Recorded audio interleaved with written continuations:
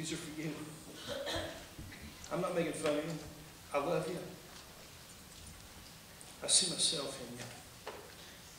I've been there.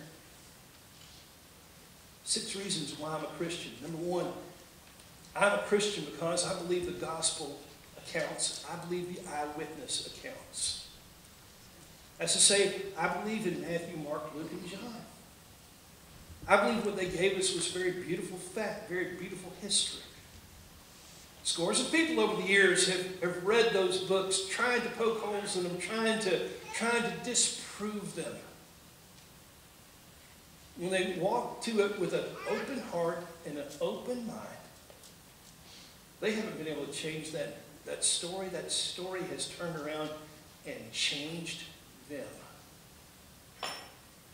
I believe in it. I think it's good, responsible history.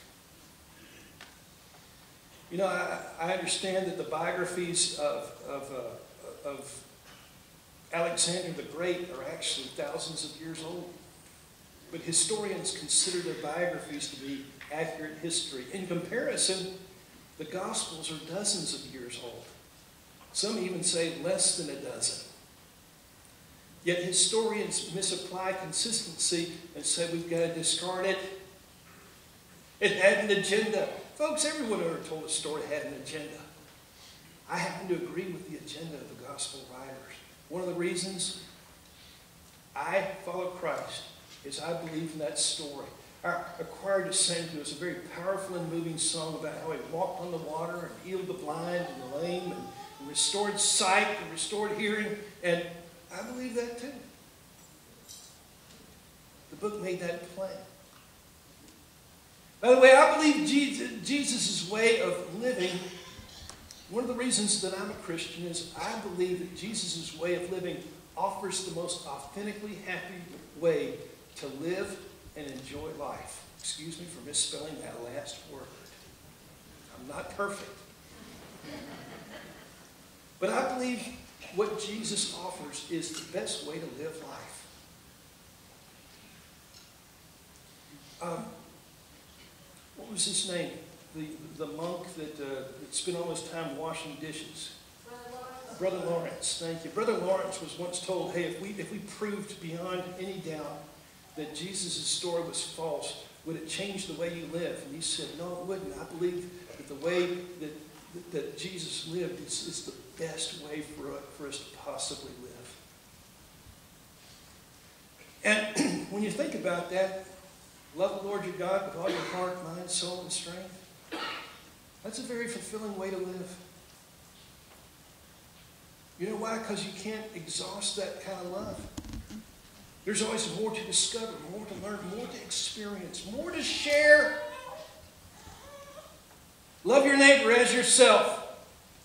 There's a lifetime of challenge in that, too. Isn't that great? Love your neighbor as yourself. That tells us there's there are two people that we got to love. We got to love our neighbors, which is easy to give lip service to, and we got to love ourselves, which is also easy to give lip service to. But you see, the Christian life challenges me to love myself, but not to become selfish. The Christian life invites me to love my neighbor and not in some codependent way, but to love them as Christ did. And if we've ever lived with those kind of difficult neighbors around us, that we might have thought treated us unfairly, slighted us, or turned us into the homeowners association or something like that, we have challenge. Oh my goodness, we can go on and on. I find profound fulfillment in Jesus in the, in the type of life that he showed us to live. I'm a Christian because I love the picture of God that the life of Jesus reveals. I'm a big fan of that too. A lot of people fear God. They think he's all about guilt. They think he's all about shame. They think he's all about anger and wrath and control and manipulation and boredom. Well, that's just not the God I know. That's just not the God I know. If that was the kind of God that existed in my reality, I'd have quit it a long, long time ago. I would tell you to do the same. That's not the God I know. I'm a Christian because I love that kind of God that Jesus shows. You know, the, the, the tender reed he will not break, the one that breathes the encouragement, the one that's all about forgiveness and redemption and, and, and encourages you to move forward in life to the end of love. That's the kind of God that we have that I enjoy, that I see in the person of Jesus. It becomes obvious that those that walk with Jesus found, look at the nicknames that they give to Jesus. They referred to him as the Good Shepherd, didn't they? They didn't call him the Bad Shepherd. They didn't call him the lazy shepherd or the hired shepherd. And look, they called him the way. They didn't call him wayward. They called him the way. They called him the truth. They didn't call him the lie. They didn't call him, they called him the life. They didn't call him lifelessness. And they called him not the condemner of sinners, not the shamer of sinners, but the friend of sinners. Hey, they called him the door, the light, the Son of God, the Savior, the healer, the mighty to save. And if we had all the way into next week, I could go on and on and on because they found all these incredibly positive attributes as to who and what he is. I love that. That's one of the reasons I'm a Christian. That's why one of the reasons I'm a Christ follower today. I'm a Christian because of the redemptive power of the cross and the new life that comes along with it. That's to say that Jesus is a forgiver. Jesus is a partner. Jesus is the one that takes our guilt and shame from life, not to, not to complicate it, not to, not to multiply that, but to take it away. There are times that I wish this altar rail could talk.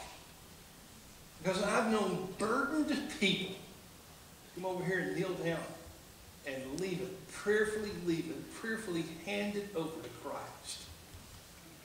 There's times that I wish the, the walls in my office could talk. Because I've seen burdened people come in there. And after prayerfully surrendering it, I watch them leave with a bounce in their step. That's what Jesus is about. I love him for that redemptive gift on the cross and the, the new life that comes along with it. Jesus said, Come to me, take your, my yoke upon you, for my for my yoke is light, and there will be comfort for your souls. Don't you love that? Don't you want a part of that? Come on. Can't you see that? A life change.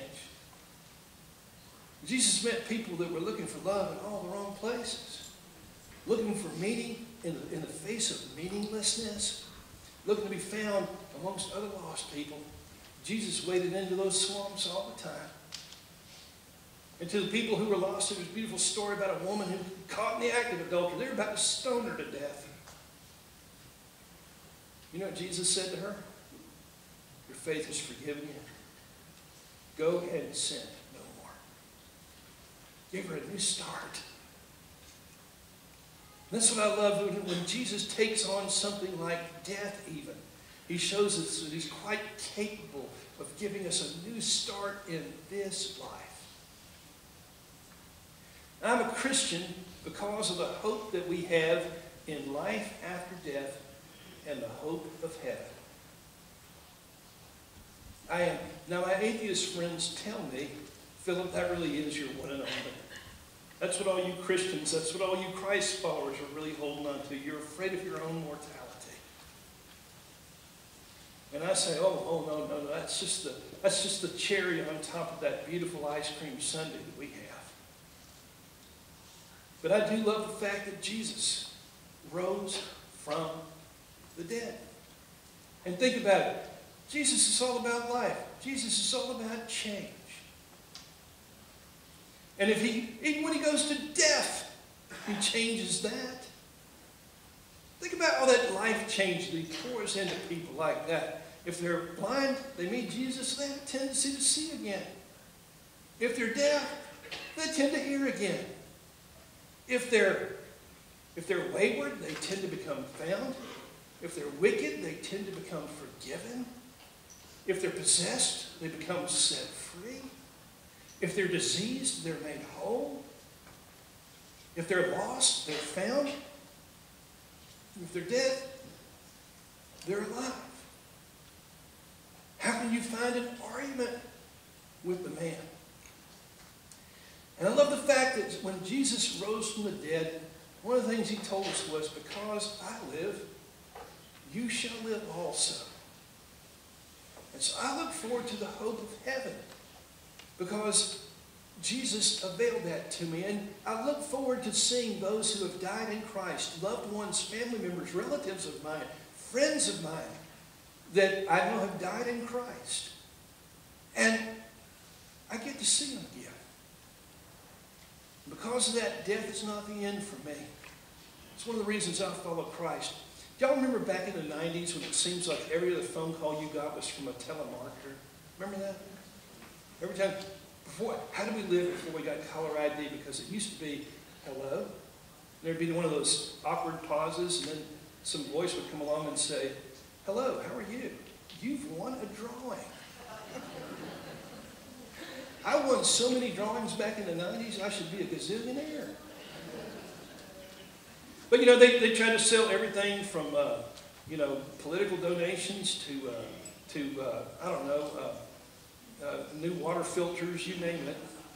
I remember one time I got a call from someone offering to sell me burial plots at the cemetery. They were telling me all about how much money I would saved if I went ahead and bought my gravesite now. And I said, Well, you need to know I'm a Christian. You got anything you can rent?